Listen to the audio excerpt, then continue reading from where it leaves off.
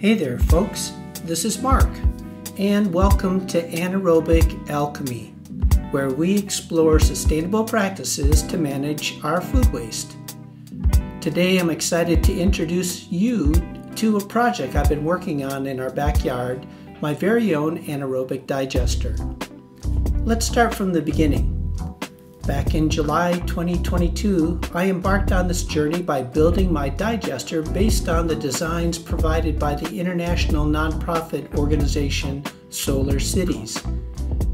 I'll provide links in the comments section below to their website and their Facebook page so you can learn more about this innovative organization and the low tech designs that are being adopted and used around the world to manage food waste. With a little elbow grease and patience, I transformed a 275 gallon IBC, which is short for International Bulk Container, into a liquid home for a whole village of microorganisms that break down food waste without using oxygen, hence the name anaerobic. The alchemy comes in because of the ability of these microbes to transform food waste into useful products, but more about that later.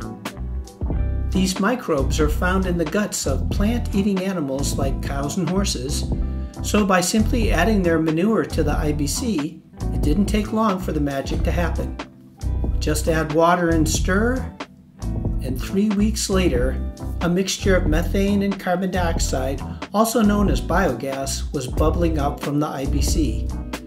I was able to ignite the biogas and create a sustained flame, indicating that the microbes had consumed all the oxygen in the IBC and they were breaking down the manure anaerobically.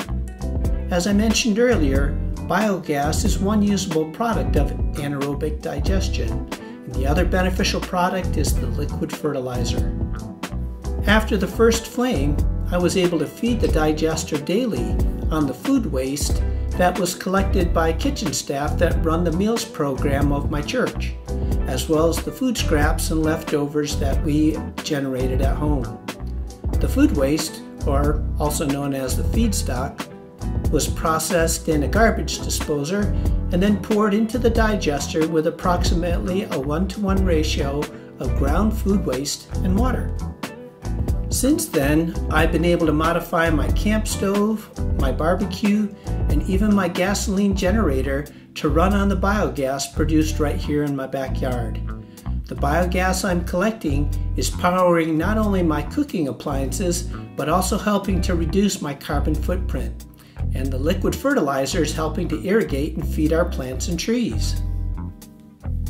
After each digester feeding, I collect the digestate or the liquid fertilizer in a 5 gallon bucket and pour it out around our plants and trees, nourishing them with that nutrient rich goodness. To keep my digester cozy and warm, especially during those chilly winter nights, I've invested in a portable greenhouse. Every little bit helps. I've also wrapped the IBC in black plastic that aids in heat absorption and blocking out sunlight that otherwise would encourage growth of microbes that produce oxygen. And there you have it, folks. My journey with anaerobic digestion has been exciting and fun.